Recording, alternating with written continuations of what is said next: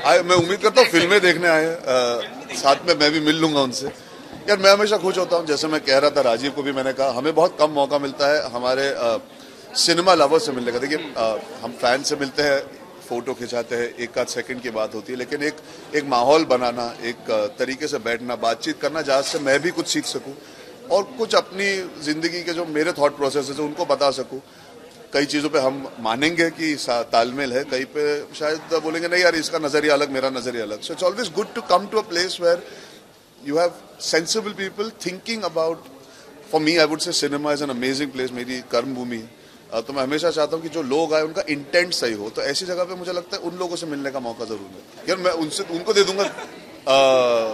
ये टिप्स क्या होता है? देखिए मैं आपसे पूछे, यार, कैसे करते हैं? आपका काम जो करते आप एक हद तक ही बता सकते हो इवेंचुअली तो करना मुझे पड़ेगा राइट तो बातचीत में आप प्रोत्साहन दे सकते हो you can encourage them you can guide them you can tell them you can give them tricks you can tell tell them how to start but eventually मैं आपको अगर धक्का भी मारूँ एक कदम लेने के लिए बाकी सारे कदम आप ही को लेने पड़ते हैं so I think what happens is instead of me telling you what to do, I can tell you what I did. I think that always works better. See, I did this. So like मैंने एक साल के लिए चावल खाना छोड़ दिया था जब मैं पतला होना चाहता था क्योंकि मैं सिर्फ़ चावल खाता था पहले अब वो मेरे लिए था। ये नहीं तो मैं आपको ये नहीं बोल सकता तुम चावल छोड़ो पतले हो जाओ बट ये मैंने किया।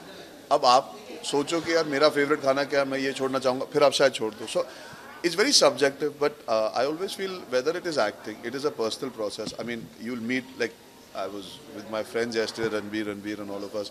When you're talking about performances, everybody has their own in.